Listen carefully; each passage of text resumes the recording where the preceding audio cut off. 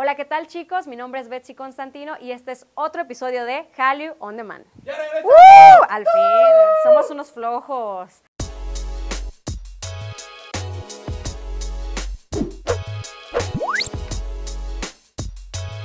¿De qué vamos a hablar el día de hoy? Pues la neta vamos a hablar de un show que me, que me gustó mucho.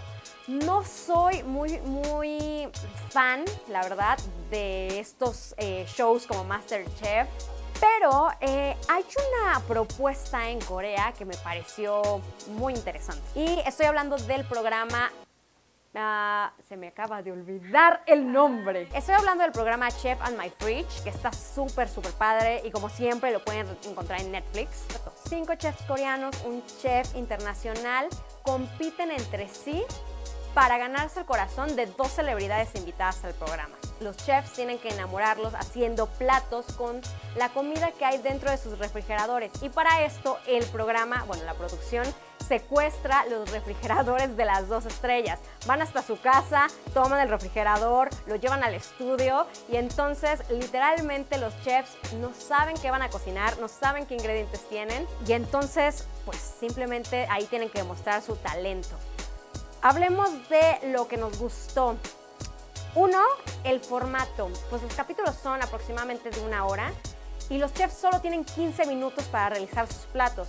Es decir, con los, con los ingredientes, y la verdad es que son muy pocos ingredientes que toman del refrigerador, hacen una creación en 15 minutos, no tienen más. Nos gusta que las celebridades que son invitadas no son tan famosas. ¿Qué quiero decir con que no son tan famosas? La verdad es que se burlan un poco de sí mismas y dicen, bueno, yo soy un actor fracasado o yo soy un actor cero tomado en cuenta o el actor de reparto. Entonces tú vas conociendo a nuevos actores, a nuevas celebridades y eso es súper valioso. La parte que no nos gustó en específico, ay, son los conductores, me parecen muy exagerados. Llega el momento en el que gritan mucho, los chefs a veces son muy serios, entonces puede llegar el punto en el que el programa sea un poco, pues tedioso, no, no tenso, tedioso, tedioso porque está el chef así de, sí, soy el mejor. What the fuck? O sea, ríete algo. Este show me gustó, el formato está padre, los capítulos están, están bastante decentes. Pero tampoco es una obra maestra. No lo voy a evaluar en un 5, unos 3.5 tops.